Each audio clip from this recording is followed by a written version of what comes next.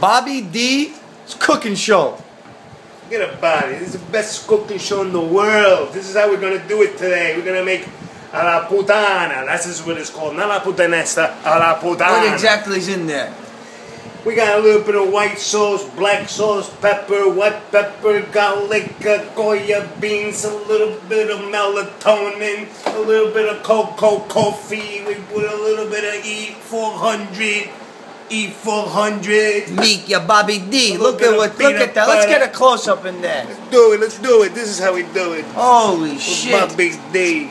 Bobby With D's Bobby D. cooking show You know coming soon to a theater near you. I cut the garlic like the guy from, you know, that what it, with the Goodfellas. Yeah, yeah, yeah. Real thin slice with a little. With the thinness in it, and it Look at this, Bobby D in This is how you do it. Look at this, A buonanotte. unbelievable. You talking to me? I'm talking to you. Who the fuck else is here?